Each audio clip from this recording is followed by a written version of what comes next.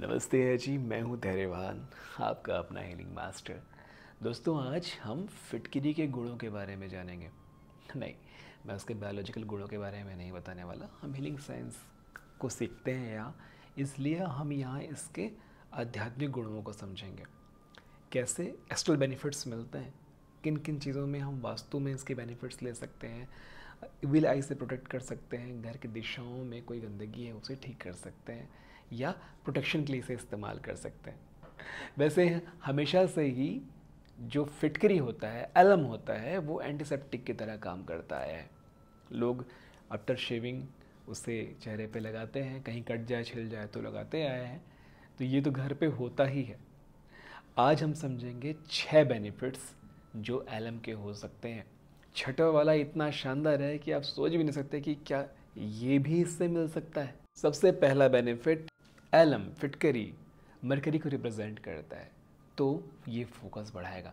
Study table पे हमेशा रख कर के पढ़ाई करें।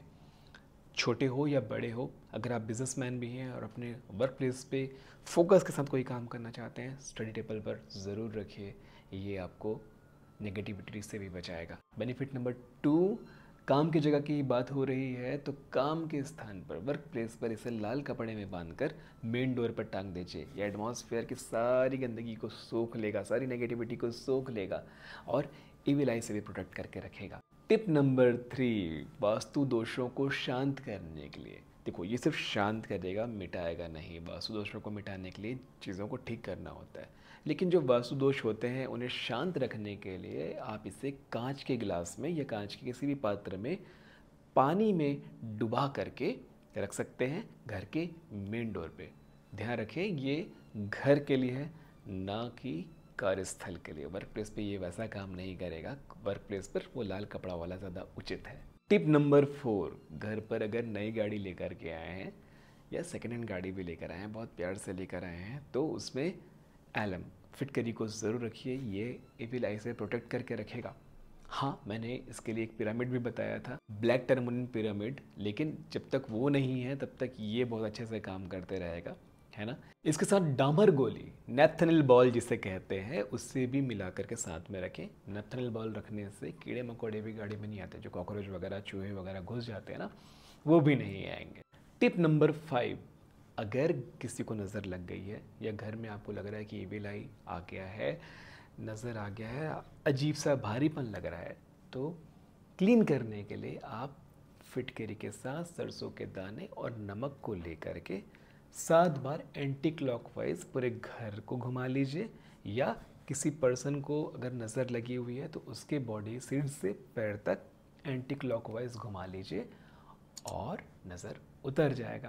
और इसका क्या करेंगे? इसको ले जाकर या तो बहते हुए पानी में डाल दीजिए या जला दीजिए। टिप नंबर सिक्स आखिरी, सबसे बेहतरीन जो कि मैंने कहा था कि ये आपकी नींद को अच्छा कर देगा। हाँ पूछो कैसे? नहीं नहीं इसे पीना नहीं है, खाना नहीं है। बस तकिए के नीचे रख कर के सोइए। अगर मन बहुत भारी चल रहा है, बेवजह के ख्याल आ रहे हैं ओवर थिंक कर रहे हैं आप, बहुत ज़्यादा मन में उथल पुथल मचा हुआ है इमोशनल टर्बुलेंस मचा हुआ है, उससे ये शांत करेगा क्योंकि एलम मरकरी को रिप्रेजेंट कर मरकरी ठंडा करता है, शांत करता है। तो विचार अगर शांत हो जाएँगे, जब आप शांत होंगे, तभी सो सकते हैं। तो मन को शांत करने से, चुप करने के लिए, खामोश करने के लिए इसे तकिए के नीचे रख कर सोइए और बहुत अच्छी नींद आएगी। तो ये थे फिटकरी, यानी कि आलम के फ़ायदे। इसे आजमाइएगा ज़रूर, अपनों को बताइएगा ज़रूर। और जो हीलर्स हैं, सारे हीलर्स इन सारे रेमेडीज़ को संभाल कर लिख के रख लीजिए। आपको अपने पेशेंट्स के, अपने क्लाइंट्स के ट्रीटमेंट में बहुत काम आएगा। सीक्रेट रखने का है शेयर करने का नहीं है ये सब वीडियो आप हीलर हैं, अपने पास रखें ऐसे रेमेडीज़ को। मैं कभी अपनी वीडियो शेयर करने को नहीं कहता। तो ये सब गुप्त ज्ञान अपने पास संभाल कर रखें। मैं आप लोगों को सिखा रहा हूँ क्योंकि आप एक हीलर हैं, है ना जी? आशा करता हूँ ये ज्ञान, ये अध्याय आपको बहुत अच्छे से समझ में आया होगा। मिलते हैं आने वाले अध्यायों में। तब तक के लिए नमस्ते है जी।